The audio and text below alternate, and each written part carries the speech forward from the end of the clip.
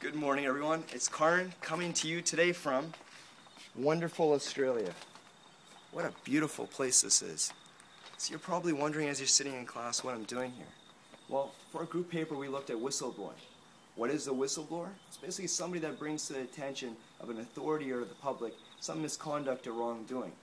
And in particular, we looked at the policies of Starbucks because one of our group members worked there and was fairly passionate about it. So I thought I'd travel across the world and see how Starbucks whistleblowing policies work here. Not really, actually. Um, but we know whistleblowing is important. Any paper you open up, any given week you watch the news, whistleblowing is a common issue. And so we know in 2008, the whole economic crisis probably could have been mitigated at least if there was more whistleblowers.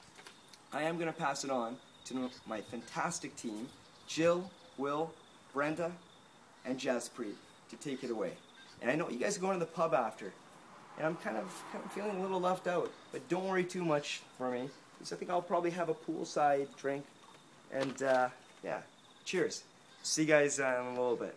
Take care.